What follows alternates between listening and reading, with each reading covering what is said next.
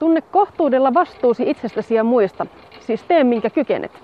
Sinä voit hyvin, kun kukaan ei voi pahoin, siis auta minkä voit. Luottamus ihmisiin ja itseen on edellytys onnelliselle arjelle sekä paremmalle huomiselle. Kuunteleminen on yhtä tärkeää kuin puhuminen. Jokainen meistä toimikoon ja käyttäytyköön hyvää esimerkkiä näyttäen ja muut huomioon ottaen. Älä kiellä apuasi sitä pyytävältä, sillä tämän päivän menestyjä voi olla huomisen osaton ja sinäkin olet saanut lahjaksi paljon koko elämäsi. Ei anneta periksi vihalle, kovuulle, kovuudelle eikä katkeruudelle, sillä niitä suurempi voima on rakkaus ja siihen liittyvä hyvyys ja myötäeläminen. Huomaatko, miten helposti ulvot susien mukana? Älä mene mukaan nykypäivän pinnallisiin noita vainoihin.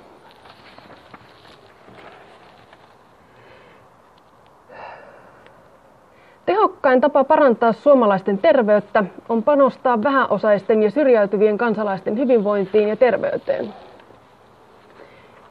Kunnioita isäsi ja äitiäsi. Lähtökohtien tasa-arvo kaikille lapsille edellyttää kattavaa, osaavaa, kohtaavaa ja välittävää varhauskasvatusta ja koulua. Yhdenvertainen lapsuus on hyvän yhteiskunnan edellytys. Luther kirjoitti 95 teesiä. Karjalainen pisti paremmaksi. Meillä on tasan sata.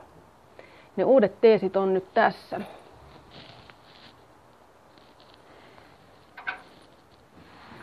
Otetaan kuva ja pannaan karjalaisen verkkoon.